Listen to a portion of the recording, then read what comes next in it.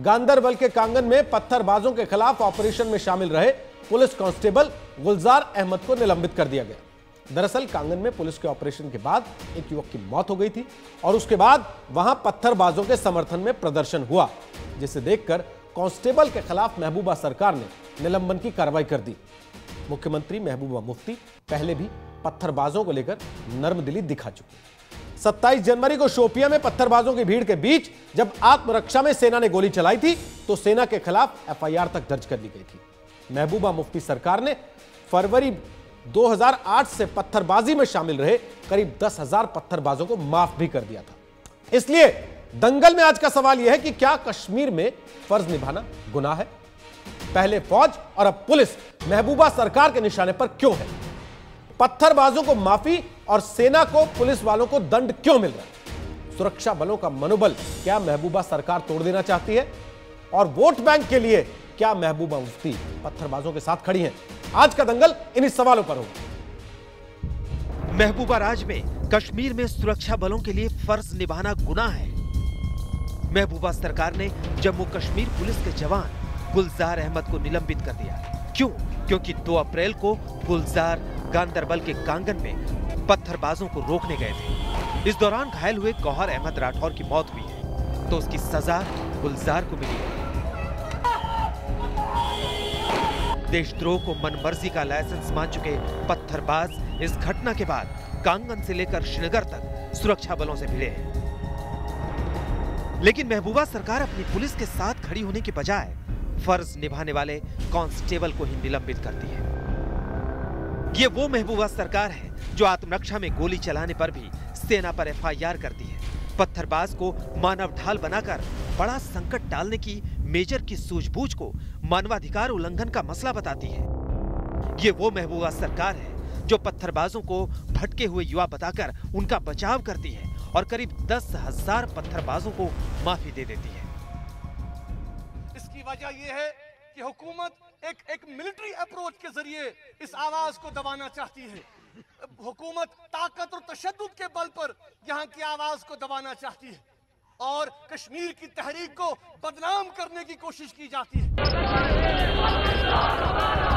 तो क्या कश्मीर में वोट बैंक की खातिर सुरक्षा बलों के मनोबल को तोड़ा जाएगा? क्या कश्मीर में देशद्रोह पर भी राजनीतिक संरक्षण मिलेगा? आज तक तो आपको बता दें कि आज दंगल में हमारे साथ मेहमान कौन कौन जुड़ रहे हैं? हमारे साथ हैं नरेंद्र तनेजा, वो भारतीय जनता पार्टी के नेता और प्रवक्ता हैं। हमारे साथ हैं अखिलेश प्रताप सिंह, वो कांग्रेस पार्टी के नेता और प्रवक्ता हैं। हमारे साथ हैं इनामुल नबी, वो श्रीनगर से इस चर्चा में शामिल हो रहे हैं, बतौर राजनीतिक विश्लेषक। हमारे साथ हैं सुशील पंडित, वो को फाउंडर हैं रूट्स इन कश्मीर के, और हमारे साथ हैं major general retired Bishambar Dayal रक्षा विशेषज्ञ हैं नोएडा स्टूडियो से इस कार्यक्रम का हिस्सा बन रहे हैं। आप सबका स्वागत है दंगल में। सबसे पहले नरेंद्र तनेजा, एक बार फिर जम्मू कश्मीर में आपकी सरकार बजाय उन पर कार्रवाई करने के जो पत्थर चलाते हैं, उन पर कार्रवाई कर रही है, जो पत्थर चलाने वालों को रोकते हैं। आखिर करना क्या चाहते हैं कश्मीर में आप लोग?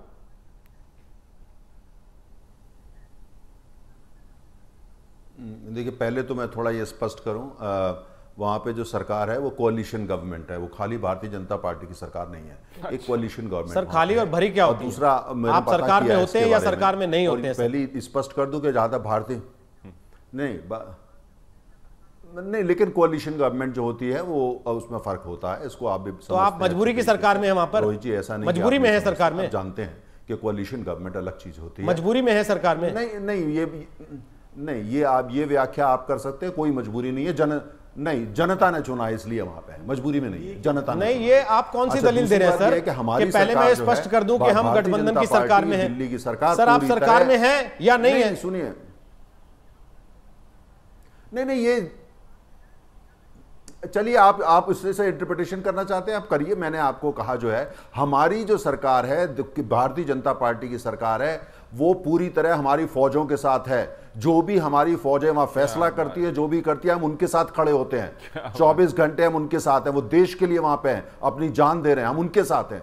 और जहाँ तक आपने जिस घटना की बात करी है इस घटना का मैंने पता किया है उनका ये कहना है अब आगे स्पष्टीकरण आएगा जो इंक्वायरी हुई है कि ये कोई इसमें ये पॉलिटिकल डिसीज़न नहीं हो एक कांस्टेबल है, उसको लेके नीचे के तब, नीचे जो कोई ऑफिसर है, जो एडमिनिस्ट्रेटिव डिसीज़न होता है, उन्होंने इस तरह का कोई डिसीज़न लिया है। लेकिन जो सरकार है, उसके बारे में पता लगाया है। उन्होंने कहा है कि आप इसके बारे में हमको जानकारी दीजिए। इसमें यह कोई पॉलिटिकल डिसीज़न कॉन्स्टेबल लेवल पर नहीं लिया गया है। एडमिनिस्ट्रेटिव है, नीचे उसमें लिया गया होगा, जहाँ पे जो भी उनके प्रशासनिक अधिकारी होते हैं, वो लिया गया होगा। लेकिन जैसे मैं फिर कहना है कि हमारी सरकार हम हम फौज के साथ है जो वहाँ पे 24 घंटे हमारे देश के लिए देश की एकता के लिए काम कर रहे हैं और कश्मीर की संपन्नता के लिए तो दोबारा पूछना पड़ेगा सर। हमारी कौन सी सरकार? उनके आप जब कहते हैं हमारी सरकार आपको कही क्योंकि जम्मू कश्मीर की सरकार की तो परिभाषा से ही आपने शुरू किया कि उसमें तो आप केवल हैं उसको भी हमारी सरकार कहते हैं आप केवल दिल्ली की सरकार को हमारी सरकार कहते हैं।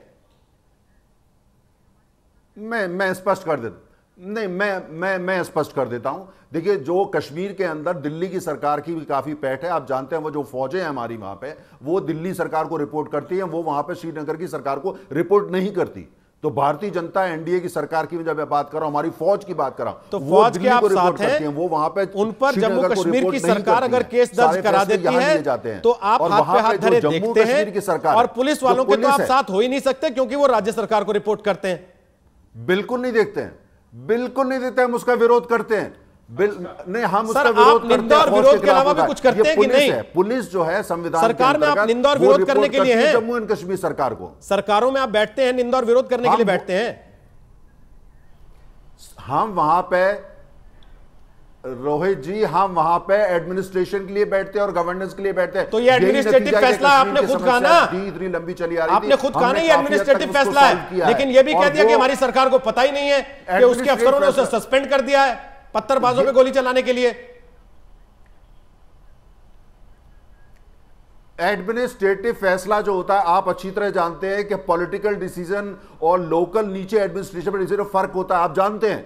आप सवाल को लेकर अंदर आप जानते हैं आपको दिल जानता है। आपकी परिभाषाओं को तो मैं नए सिरे से सुन रहा हूँ इसलिए आपकी परिभाषाओं के बारे में मैं कुछ नहीं जानता डिप्टी सुप्रिंटेंडेंट पुलिस के लिया जाए। जिस सरकार में एक पार्टी आप सब आधी भागीदार होकर ये कहते कि नहीं हमने नहीं किया। दर्शक भी जानते हैं। ये इन्होंने किया है। दर्शक भी जानते हैं। तो फिर उसके बाद तो सर सारी परिभाषा आपकी नए सिरे से सुननी पड़ेगी मुझे लगता है। नहीं नहीं अब रोहित जी नहीं नहीं अरे नहीं आप आप आप देखिए वो आप देखिए वो अपने हिसाब से आपको तंग होना चाहिए महबूबा मुफ्ती से आप तंग हो रहे मेरे सवालों से। कि जो नीचे लेवल पे अगर कोई एसएचओ डिसीज़न ले रहा है वो उसके लेवल पे होना चाहिए। जिस विषय पर देश भर में चर्चा हो? रही है। हम अपना काम कर रहे हैं तंग क्या होना जिस कश्मीर को लेकर पूरी दुनिया की नज़र रहती है। जिस कश्मीर को लेकर पाकिस्तान लगातार आपको टारगेट कर रहा है हर तरीके से उस कश्मीर में पत्थरबाजों पे गोली चलाने वाला एक पुलिस का जवान सस्पेंड कर दिया जाता है मेजर साहब। और सरकार के पार्टनर ये कहते हैं कि किसी एसएचओ ने कर दिया होगा, हमें नहीं पता। क्या यह ज़िम्मेदारी की बात है या यहाँ केवल दिखावा चल रहा है? देखिए, रोहित ये बहुत ही गैर जिम्मेवारी की बहुत ही गैर जिम्मेवारी की स्टेटमेंट है। एक सारे देखिए देखिए सर आपका इंटरप्रिटेशन सुन लिया मैंने कुछ नहीं कहा। आपने सारे इंटरप्रिटेशन सुने आपके सरकार की परिभाषा के भी सुने काम करने के तरीकों के भी सुने दिल्ली के अलग और कश्मीर के अलग वो भी सुने फौज के अलग पुलिस के अलग वो भी सुने। अब इनका भी सुन लीजिए जरा एक बार। हमारी भी सुन लो। आप लोग कहते हो कि भाई हम फौज के साथ हैं इतनी गैर जिम्मेवारी कार्रवाई वहाँ की सरकार करती है और आप फौज के साथ हैं। फौज कोई पाकिस्तान से तो आई नहीं जिसके साथ आप खड़े, कोई सरकार खड़ी है। फौज इस देश का अटूट हिस्सा है, फौज इस देश की है। जो सरकार है उसका अंग है फौज। फौज इस देश का अंग है आप साथ है, क्या साथ है, क्या ना साथ है।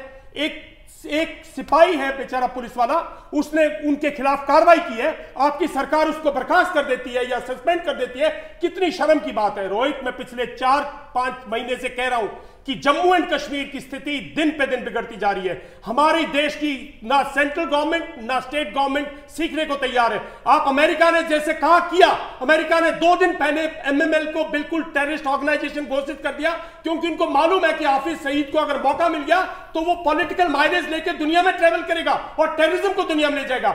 हम यहाँ ना हुरियत को बैन कर पाए ना हम आज तक पिछले चार पाँच साल में कहते रहे और पिछले बीस साल में पच्चीस साल नाहूरियत को आज तक हम anti national terrorist organisation declare कर पाए।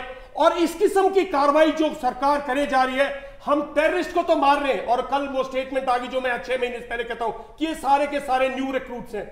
हम टेररिस्ट को सेना सिक्योरिटी फोर्सेस एलिमिनेट कर रही लेकिन टेररिज्म को आपकी जो वहाँ की लोकल सरकार है वो बढ़ावा दे रही है। आप उसका अंग है। वो एनडीए का पार्ट है साहब। कैसे आप पल्ला झाड़ लेते हो? क्या देश ये पूछेगा? क्या देश इस चीज़ में लग जाए कि बीजेपी ये है और और मुफ्ती ये है कहाँ पे लाके खड़ा कर दिया देश आप लोगों ने? ठीक। कहाँ पे जम्मू एंड कश्मीर के हालात लाके खड़े कर दिया आप लोगों ने? सर, एक। आपने कम से कम भी जम्मू एंड कश्मीर के हालात 20 साल पिछाड़ दिए दिमागी तौर पे। नई पीढ़ी में एक अंग भर दिया खून भर दिया देश के खिलाफ। आप हाथ खड़े करते नहीं उससे कोई फ़ायदा नहीं होगा। थोड़ा गुस्सा कम थोड़ा गुस्सा कम थोड़ा गुस्सा कम।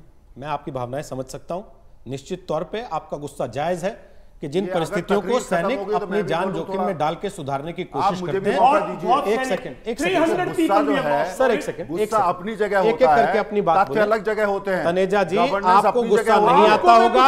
एक सेकंड सर। तो हूँ। हमारे मेजर लोग साहब, हैं। मैं तो हैं, गुस्सा हमारे दयाल साहब, वो हमारे देश का दयाल साहब दयाल साहब थोड़ा सा है जवान दयाल साहब। साहब। दयाल साहब मैं सवाल पूछ रहा हूँ आपके मन की बात मैं पूछ रहा हूँ नरेंद्र तनेजा जी आपको गुस्सा नहीं आता होगा, लेकिन इस देश के किसी भी सामान्य नागरिक को यह देख के गुस्सा आता है कि एक तरफ़ आप दावा करते हैं, आप बड़े राष्ट्रवादी हैं। आप देशहित की बातें करते हैं लेकिन सरकार आप उनके साथ चलाते हैं जो आए दिन पत्थरबाजों की पैरवी करते हैं दस हज़ार पत्थरबाजों के केस वापस ले लेते हैं आपके मुँह से चू तक नहीं निकलती 99% servicemen, ex-servicemen voted for Mr. Modi in 2014. बोलने से। 99%. उनको जवाब। अब जितना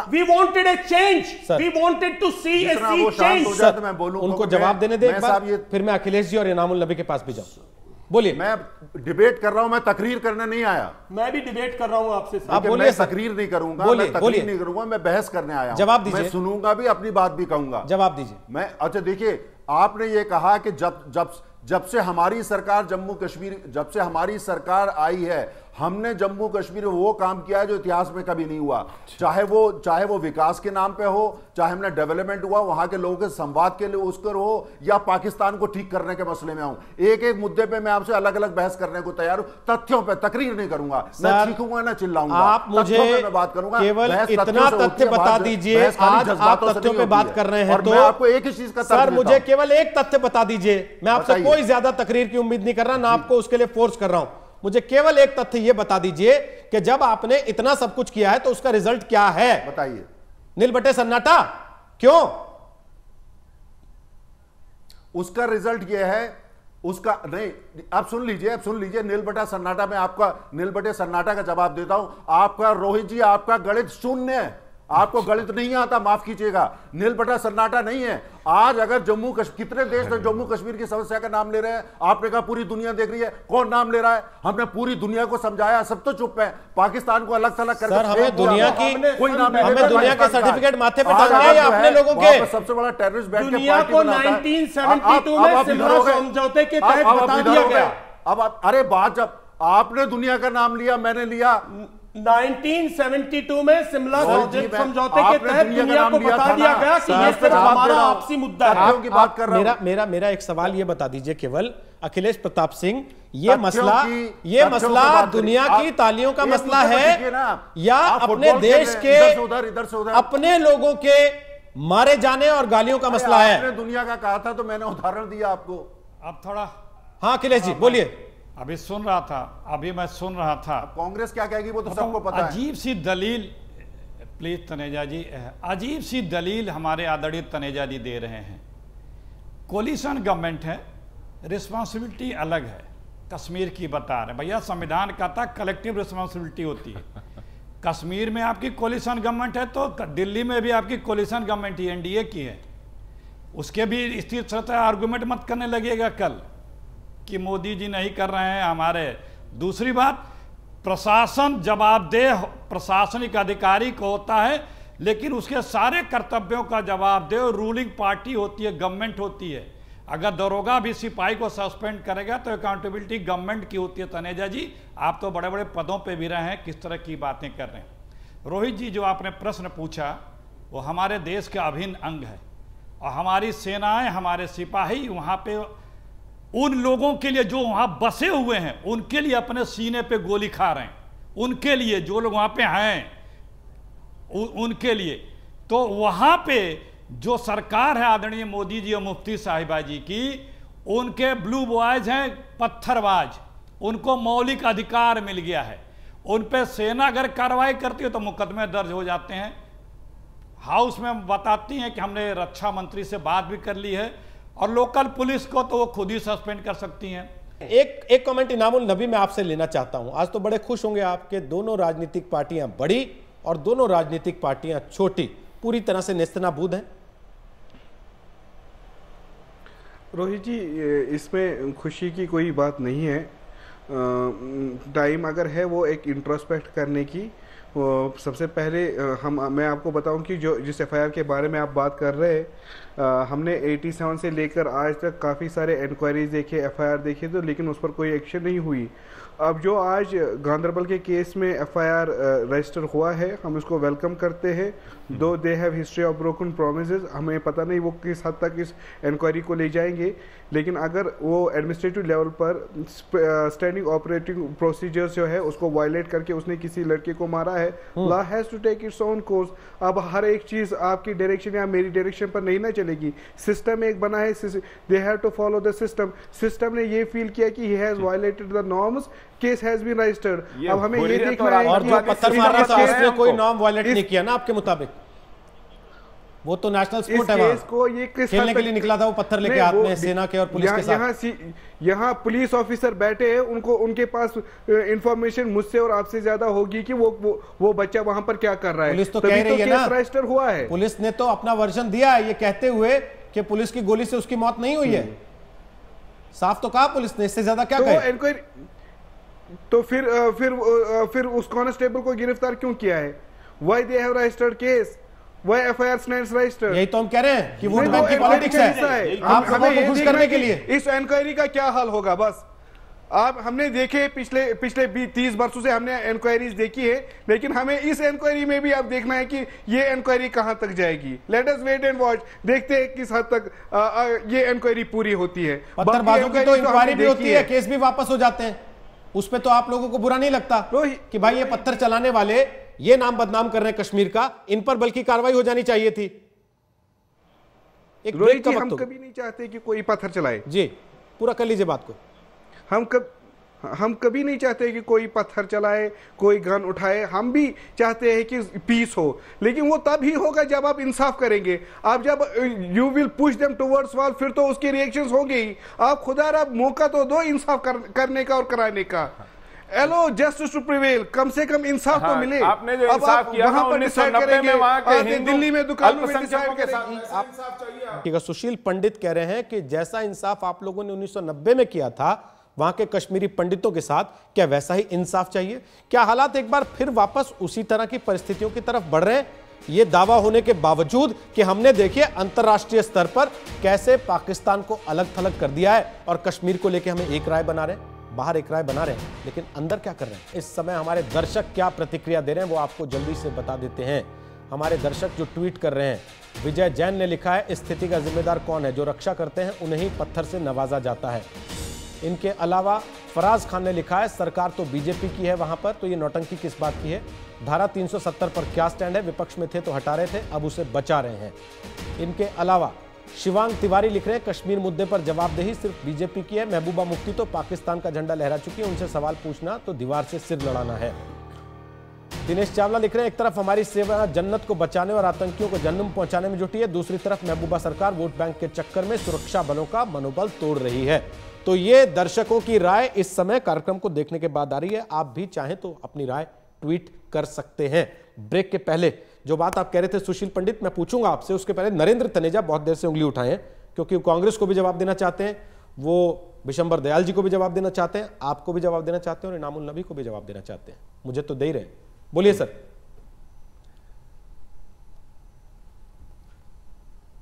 नहीं रोहित जी पहली बात आपने कहा कि भारतीय जनता पार्टी बिल्कुल नेस्तनाबूद हो गई है।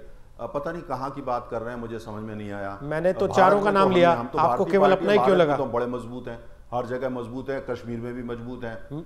आपको कश्मीर केवल बॉर्डर पे नज़र आता है क्या? सुनूँगा ना और उस अंदर नज़र नहीं आता। से कैसे की तरफ़ से कैसे बोल कश्मीर के लोग आपके अपने लोग नहीं है क्या इस देश के? प्रवक्ता मैं भारतीय जनता पार्टी का हूँ ना तो मैं तो वही बात करूँगा। रोहित जी ये मेरी बात आप बोल रहे हैं मैं आपसे पूछने वाला हूँ। आप मैं आपसे पूछ रहा हूँ सर, आपने कहा बड़ी मजबूती से खड़े हैं हमारे सैनिक वहाँ पे। मैं नहीं बोल रहा वो हमारे लोग हैं। वो हमारे लोग हैं। आप तो उनकी आँखें देख रहे हैं। आप तो आँखें देख रहे हैं किसकी काली है किसकी नीली है ब्लू आई है ब्लैक आई है व्हाइट आई है। आप तो आँखें देख रहे हैं। हम कह रहे हैं वो हमारे लोग हैं। मैं पे पत्थर भी देख रहा हूँ। हमारी भारत के बाशिंदे जिनको आप छोड़ दे रहे हैं। मातृभूमि के रिपोर्ट देखने के बावजूद। अच्छा, दूसरी बात आप आँखें का कलर देख रहे थे। आप ब्लू व्हाइट देख रहे थे आप। आप अरे सब देख रहे हैं साहब वो हमारी रिपोर्ट है। हमारे हमारे आईए की रिपोर्ट है वो। उसकी रिपोर्ट है। देखिए जब सब सत्ता में आया 90 परसेंट इंप्रूवमेंट है। किस हालत में? किस हालत में कश्मीर छोड़ के ये गए थे कांग्रेस वाले? हमने 90 मैं बताता अच्छा, मुझे ये बताइए ना। मुझे मुझे। नहीं मुझे आपने 90 परसेंट 90% इंप्रूवमेंट दे दिया सर। हमने तनेजा जी आपने 90 परसेंट अंदर। इंप्रूवमेंट का सर्टिफिकेट तो तुरंत लगा दिया। अच्छा, मुझे ये बता दीजिए कितने कश्मीरी पंडित आज अपने घर जाके बस सकते हैं? वापस बताइए कितने कश्मीरी पंडित वापस बस सकते हैं या बसा दिया आप बताइए चार साल में तीन साल में। ये वापस जाएँगे एक एक आप देखिए एक एक एक मैं आपको बता रहा हूँ तीन चार साल में नहीं गए मैं मानता हूँ लेकिन एक एक कश्मीरी पंडित अपने घर वापस जाएगा। 90% ठीक हो गया। के लिए सारा माहौल बना रहे हैं इन्हीं के लिए। 10 परसेंट का बाकी छोड़ा था क्या कश्मीरी पंडितों के लिए? जो कि पहला एजेंडा था। अच्छा चलिए भूल जाइए कश्मीरी पंडितों को। बताइए 370 कितनी हट गई वहाँ से? रोहित जी आपके मैनिफेस्टो में है आपकी 370 दलील और बताइए धारा सवाल 370 हट गई क्या? आपका दर्शक सहमत नहीं होगा। आप बेकार के सवाल कर रहे हैं। सर, दर्शक सहमत मैं कह रहा हूँ मेरे सवाल बेकार के हो सकते हैं, आप जवाब तो अच्छे दे सकते हैं। जवाब अच्छे दे दीजिए ना। बहस करिए। आप पहले कह रहे थे कि गणित नहीं जानते। मैं हिंदी में पूछ रहा हूँ आप मुझे गणित पढ़ा रहे हैं। डिबेट करिए। ये दंगल नहीं है। सर मैं ये दंगल ही है। और मैं आपसे सवाल पूछूँगा। आपको बुरा लगे या भला? मैं फिर पूछ रहा हूँ कश्मीरी पंडितों पे आपने मान लिया नहीं बसा पाए। बताइए धारा आज 370 पूछिए का क्या हुआ? कितनी परसेंट हटा लिया आपने? आप अपना काम करो। आपको क्यों बुरा लग तो रहा अपना है? काम ही कर रहा हूँ सर। मैं इस देश का नागरिक हूँ मुझे बुरा लग रहा है। हमने जो वहाँ करके दिखाया कांग्रेस मैं इस देश का नागरिक हूँ मुझे बुरा लग रहा है। मेरे देश का सैनिक मर रहा है। मेरे देश के पुलिसकर्मी पे एफ़ हो रही है। कश्मीर वो जेल जा रहा है। कांग्रेस आप आप अरे आप मेरे तो मैं कहा हूँ? आपने तो ओनरशिप ले ली देश आप तय कीजिए ना तो आपको ओनरशिप लेनी चाहिए थी आपको सरकार दी थी लोगों ने। आप ओनरशिप नहीं ले रहे हम ले रहे हैं तो मेरा आपको वो भी देश बुरा है। लग रहा। है मेरा भी देश है। अरे मेरा भी देश है। तो सरकार में बैठ के भी याद रखिए ना कि आपका भी देश है। अरे मेरा भी देश है सुनिए मैं जवाब दे रहा हूँ लगता सवाल करिए। देश आपका है। सरकार में बैठ 90 परसेंट अपने इम्प्रूव आप कांग्रेस को सवाल नहीं कर रहे। कि इस कांग्रेस ने वहाँ सरकार में आप है कि कांग्रेस है? 90 परसेंट सरकार आपकी है कि कांग्रेस की है, ये बताइए ना। आप भेजिए ना रिपोर्टर को देखिए। कांग्रेस ने तो कभी नहीं कहा कि Improvement है या 370 हटा देंगे। आपने कहा था तो आपसे पूछूँगा मैं कौन सौ सत्तर हटाई कि चीज़ें नहीं बताना चाहता हूँ कैसे इन्होंने 90 परसेंट ठीक कर आज सरकार किसकी है वहाँ ये बताइए ना। हम हटाएँगे। हर चीज़ स्टेप बाय स्टेप होता है। दोनों ने मिलकर तो बर्बाद नहीं किया है। सवाल यह है किसी ने अपनी दुकान चलाने के लिए और किसी ने उस दुकान को अपने वोट बैंक का हथियार बनाकर वोट पाने के लिए। अखिलेश जी, माफ़ी चाहता हूँ, आपसे कमेंट ले नहीं पाया। तो दंगल, आप देख रहे हैं आखिरी पड़ाव पर हम हैं। कश्मीर में क्या फ़र्ज़ निभाना गुना है, इस पर हम बहस कर रहे थे। समय खत्म हो गया। अखिलेश प्रताप सिंह से कमेंट ले नहीं पाएँगे और नरेंद्र तनेजा से भी आखिरी कमेंट ले नहीं पाएँगे। फ़िलहाल दंगल में इतना ही।